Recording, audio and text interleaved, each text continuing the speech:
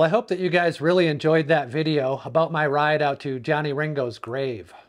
In this part of the video, I'm going to go behind the scenes and tell you about some of the places that I visited, what I saw along the way, and what I learned. I started out in Tombstone, which is only about 30 miles from where I live, so it wasn't a long ride for me. I rode up there in the evening, spent the first night at a motel, and then spent the morning walking around and exploring this old Wild West town. And then in the afternoon, I rode out to Turkey Creek and spent a really good night motorcycle camping and found Johnny Ringo's gravesite the next morning. My goal for this project was number one, to make a really awesome video, and number two, learn something about a destination, in this case, Tombstone. But I wanted it to be a little bit more than just a story about motorcycling. I wanted to find another story. And the story that I chose was obviously the story of this gunfighter, Johnny Ringo. I did a little bit of research ahead of time, prepared my notes and locations, and then set out to Tombstone to begin. The first place I went to is the Ed Schieffelin Monument, and it's a couple miles outside of Tombstone. Ed was an Army scout and a prospector. In his spare time, he would go out looking for gold. Everyone back at the base said the only rock he would find would be his own tombstone, but he proved them wrong when he struck it rich. In 1877, Ed found minerals in this area that would trigger the silver rush in Tombstone. The monument is located in the place that he camped before he struck it rich. It's 25 feet tall, and it's made out of rocks stacked in the form of a prospector's claim. Ed lived until 1897, and his last wishes were to be buried in his prospector's clothes with his pickaxe and canteen at the spot where he camped the night before he found the silver. Tombstone's new cemetery was built in 1884. The old cemetery, the one known as the Boot Hill Graveyard, operated for about five years before they built the new cemetery. About 250 people are buried in the Boot Hill Graveyard, mostly outlaws, criminals, desperados, those types of people. Boot Hill refers to the number of men who died with their boots on. Cowboys and outlaws, the less respected members of society. In 1923, Highway 80 was built and it cut a path right through the old cemetery. Many graves were moved and Boot Hill fell into disrepair. It was restored in the 1930s and then it became a roadside attraction of sorts. One of the things that I find the most fascinating and interesting about this old graveyard is the various ways that people died back in those days. Some of them simply say that they were shot, others were killed by Indians, cattle stampedes, some of them drowned. This guy died while playing cards. It really gives a window into what life was like and the dangers and challenges that people faced back then. Here's a guy that was hanged by mistake. And of course, Lester Moore, four slugs from a 44. No less, no more. Some of the most famous graves would include the McLaury brothers and Billy Clanton, who were killed in the shootout at the OK Corral. Tombstone was the most notorious boomtown in the West, at one point even larger than San Francisco. Because of all the wealth pouring into Tombstone from the mines, it had a refined culture, and acting troupes and performers were imported to play at Tombstone's theaters. This is Schieffelin Hall. It was built by Ed's brother Al in 1881, and it's the largest standing adobe structure in the Southwest. This is Allen Street. Back then, the south side of the street had cafes and restaurants, places for the respectable members of society. The north side of the street was known as Rotten Row, and it was filled with bars and casinos and brothels. And this really reflects the dichotomy between law and order versus lawlessness that Tombstone represents. This is Toughnut Street, which was the scene of a historic lynching in 1883. It's an event known as the Bisbee Massacre. A group of criminals committed robbery in Bisbee. Along the way, several people were killed, including a pregnant woman. Most of the perpetrators were sentenced to hang, except for one of them. He was given a sentence of life in prison. But the residents of Bisbee didn't think that was strong enough, so they took the matter into their own hands. They broke him out of jail and lynched him on Toughnut Street. In the coroner's report, he said he died of emphysema, or shortness of breath at high altitude. The gunfight at OK Corral took place on the corner of Fremont and 3rd Street on October 26, 1881. It only lasted about 30 seconds, but it's one of the most famous gunfights in U.S. history. Wyatt Earp, with his brothers Virgil and Morgan, along with Doc Holliday, shot it out with Billy Claiborne, Ike and Billy Clanton, and Tom and Frank McLaury. They were cattle rustlers. This event's been studied in detail by historians who fired first, the position of the gunfighters, who hit who, etc. Both the McLaury brothers and Billy Clanton were killed. Ike Clanton and Billy Claiborne ran from the fight.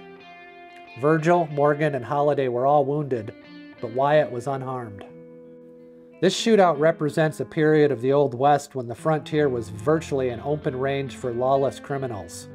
It wasn't a well-known event to the American public until 1931, when Wyatt Earp's biography was published a couple of years after his death. I went to the Gunfighter Hall of Fame seeing if I could find more information about Johnny Ringo. If you ever go to Tombstone, I highly recommend that you check out this museum.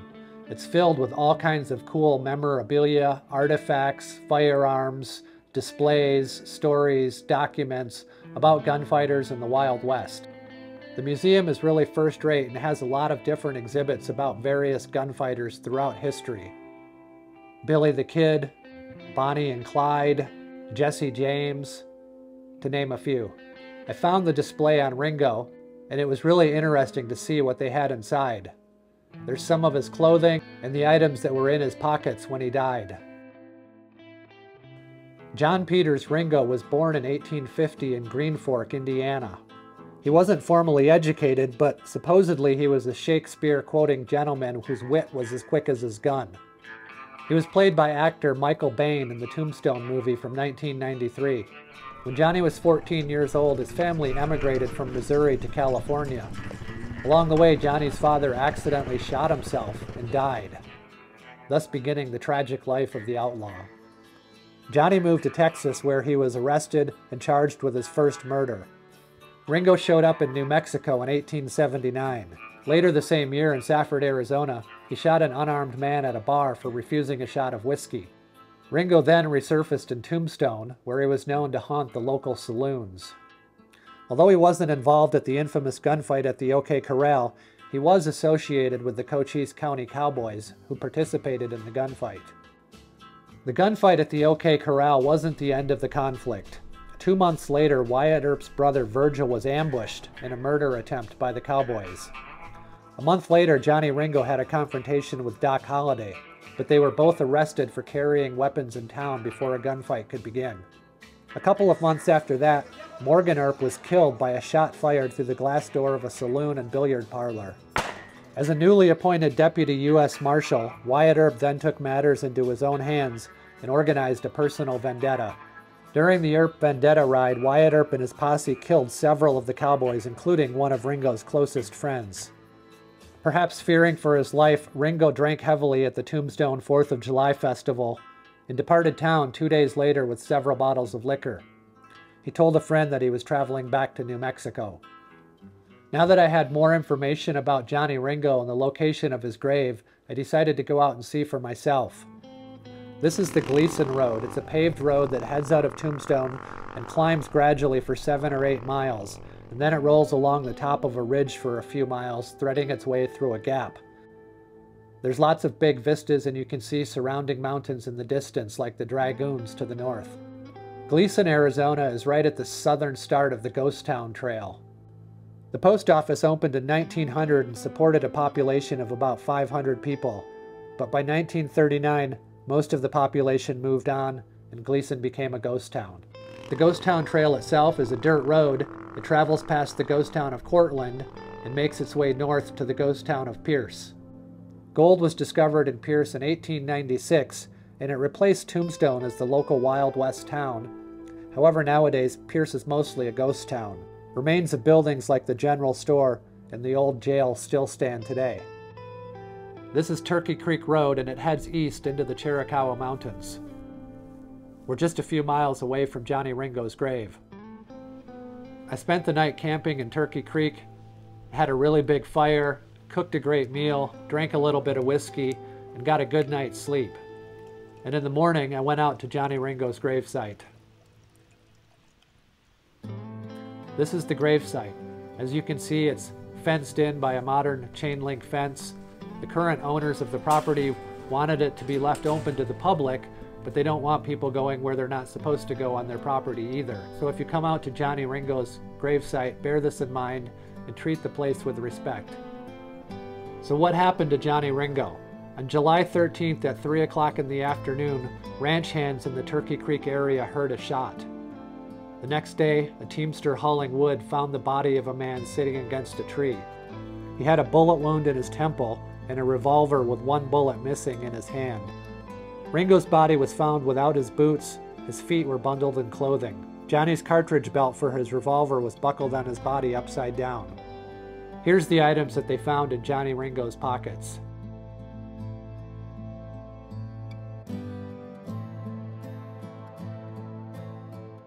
His death was ruled a suicide and the body was buried at the base of the tree where it was discovered.